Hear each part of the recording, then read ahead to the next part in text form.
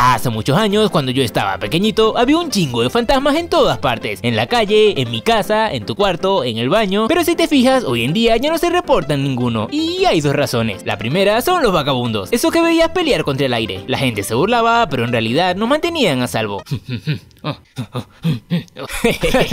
Míralo. Sí. Pobre idiota. ¡Ay no! ¡Está perdiendo! ¡Ya te ayudo, compa! y después de muchas batallas épicas contra el aire, pues se murieron todos los fantasmas. Y si no es eso, es que los fantasmas le tienen miedo a los niños de hoy en día. Van a espantarlos a las 3 de la mañana y en vez de ver a un niño semidormido con miedo de ir al baño, ven a un desquiciado, peludo y sin camisa gritándole a una pantalla. ¡No! ¡Ya, ya, mi verde! ¡Ya, ya! Estoy ocupado. ¡Qué miedo! ¡Ayuda! En mis tiempos, los niños tenían que aguantarse las ganas de orinar hasta al menos las 4 de la mañana, cuando los fantasmas ya se fueran. Se hacen a 3.59 y el fantasma diría, bueno, se acabó mi turno aquí, me voy a China. Hasta mañana, niño. Niño, ¡Digo hasta mañana! ¿Dónde están tus modales? Ay, menos mal, ya son las 4. ¿Quién gritó? Yo. ¿Por, por qué me apareció un fantasma? ¡Deja dormir! Y diría que es un miedo infundado. Porque cuando recién nacemos y el doctor nos golpea para ver si respiramos, descubrimos que solo la gente viva puede hacernos daño. Bien, el niño está sano, señora. Todavía sirve. En cambio, si te das cuenta, los fantasmas no nos pueden golpear. Creo. La culpa de todo la tienen esos señores viejitos que no podían ver un grupo de niños felices de la vida porque no resistían las ganas de decir ¿Cómo están muchachos? ¿Sabían que por aquí a las 12 de la mañana pasa el carro de Drácula y se lleva a la gente? Espere, ¿no se supone que Drácula puede volar? ¿Para qué necesita un carro? Para llevarse a sus víctimas, niño. ¿Qué crees que pasaría si se las llevara volando? Drácula, espera. Me traigo una mosca. ¡Uy! Uf, menos mal no iba a mucha altura. Supongo que todo es como es por algo. Es mejor no cuestionar. A mí lo que me daba rabia era que no me dejaran jugar metras de noche, porque decían, te va a salir el niño fantasma que juega metra. Dice que me retaría una partida, me llevaría y luego nunca volvería. O sea, es un niño igual que yo. No me puede ganar peleando. Un uno a uno y estamos a mano. ¿Cuál es el problema? ¡Vamos! Los fantasmas de mi generación sí eran rudos. No como esos fantasmas de ahora que se va la luz en tu casa y hasta a ellos le da miedo. Es un fastidio que en plena madrugada vayan y te despierten diciendo, oye, oye, oye. ¿Qué? Se fue la luz. Y tengo miedo. Dame un ladito. No, por favor, échate un poco. Ahora que recuerdo, quien realmente se aprovechó de mi inocencia fue mi abuela, cuando un día estábamos en la casa y ella me dijo, ¿escuchas? El coco está por ahí. Qué bueno que estás aquí adentro a salvo. Y yo estaba escéptico, pero de repente escucho una voz lejana que decía, Llegó el coco. Y casi me meo. Dije, oh my god, el coco es real. Está bien, abuela, me tomaré toda la sopa. ¿El agua del coleto no? Pero luego pasaron muchos años, crecí, me limpié los oídos y volví a escuchar el mismo señor con el mismo tono y lo que realmente decía era Llegó el queso. Me sentí aliviado, tipo Genial, el coco no existe, ya me puedo portar mal. Dislike a Kai Pro, qué malo soy. ¿Qué qué? Lo peor de los cuentos de fantasmas es que son temas muy populares, misteriosos, que llaman la atención. Por eso en el colegio nunca faltaba el pibe que contaba la historia de que estaba con un pana, que era flaco, alto, ombligo para afuera y le faltaba una oreja. Dibujaría aquí la otra oreja, pero mejor imagina que está del otro lado de la cara. El chamo seguía, dizque, entonces el pana se quedó a dormir en mi casa y yo le dije, mano, no puedes. Pero él, ¡Déjame! y yo, no cabes en el horno de la cocina, bro. Lo cacheteé, lo acosté en el sofá y se quedó dormido. Pero luego apareció una mujer tenebrosa, desnuda y de cabello largo. Eran las 3 de la mañana y él no sabía si sentirse agradecido o desdichado. La mujer se le lanzó encima. Él reaccionó rápidamente lanzándole golpe, pero se desvaneció en el aire. Nosotros nos quedábamos, wow. Y el de la historia, sí, y todo es real. Me lo contó, yo lo vi, hasta el perro mío lo vio. Y eso que no tengo perro.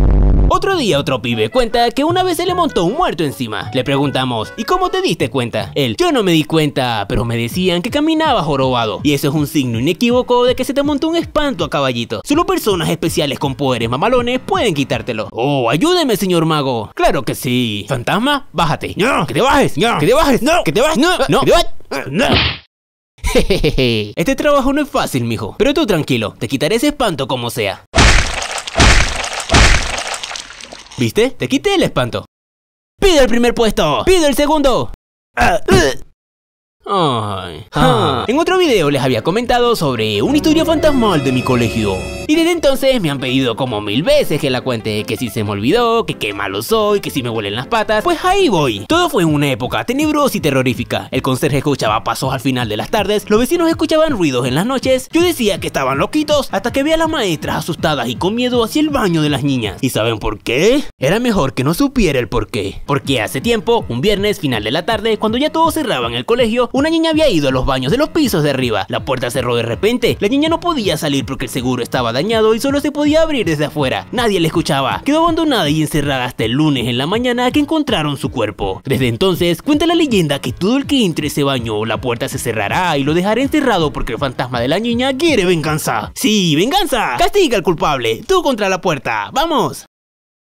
En mi colegio había mucho drama con esa historia y la puerta embrujada, tanto que las maestras no permitían que las niñas fueran solas al baño, sino que tenían que ir con alguien que les sostuviera la puerta afuera. Las maestras mismas se llevaban a alguien que las cuidara afuera también. Todo parecía muy serio, me ponía los pelos de punta, si tuviera pelo. Pero ahora que lo pienso, quizás no había ninguna historia de fantasma, simplemente era tacañería de la institución, que no podían comprar otro seguro o quitar el dañado. Dudo que la historia fuera tan dramática como la recuerdo, pero como estaba pequeño y sugestionado, en ese momento no podía ver la verdadera raíz del misterio. A pesar de tanta gente tratando de traumarnos, mi hermano y yo nos íbamos a explorar intrincados callejones oscuros a cualquier hora de la noche. Un día explorando caminos nuevos, vimos una reja abierta y una casa de mala fachada con la puerta abierta también. Así que decidimos entrar con el único objetivo de ver al fantasma que vivía ahí. Al acercarnos se escuchaban ecos y susurros, todo lleno de escombros y escaparates. Oscuro, pero con una luz azul que se asomaba por el pasillo. Uno de nosotros preguntó, ¿Fantasma, estás ahí? Pero afortunadamente el fantasma era mudo, porque no habló, solo hizo sonar su chancla.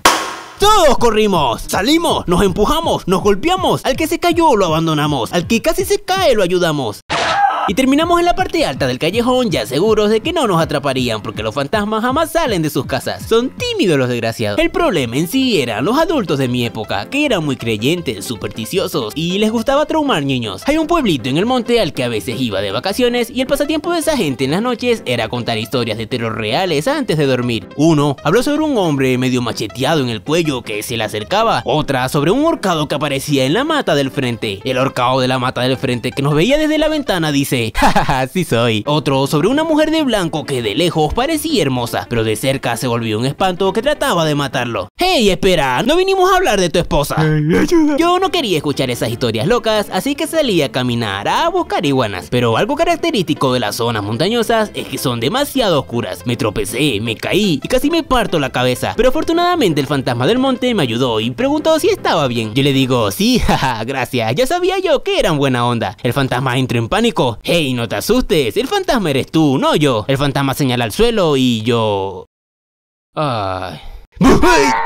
Cuando me fui haciendo más grande, más fuerte y más trastornado, pensé, si me llegase a aparecer un fantasma algún día, creo que le gano. Un gancho izquierdo, una patada invertida, un derechazo con finta, y lo haría morir por segunda vez. sería fácil. Pensar en que no existen no te quita el miedo en un lugar tenebroso. Pensar que les puedes partir la nuca de una patada si osan aparecer, te hace sentir más seguro. Ni te pueden hacer daño, su única habilidad es asustar, y si no tienes miedo, pierde efecto. Un viejito me diría, estás loco mijo, un espanto te puede de matar. Pero nunca he escuchado en las noticias. Fulanito fue apuñalado 13 veces por un fantasma. Además, ¿cómo conseguiría un cuchillo el fantasma? ¿Lo robaría? ¿Lo compraría? ¿Por andar asustando y la de chambear no se la sabe? Eso de quedarse en un sitio asustando de a gratis no parece muy productivo. Si hay un fantasma viendo este video, les recomiendo que manejen bicicleta, pues. Les hará bien. Mamá, voy a manejar bicicleta. ¿Cuál bicicleta? ¿La del vecino? Ah, está bien. No la veo. Espe ¡A la madre! Y cuéntame, ¿crees en fantasmas? ¿Crees que les ganarías en un combate? Deja tu comentario, gracias por verme y nos vemos.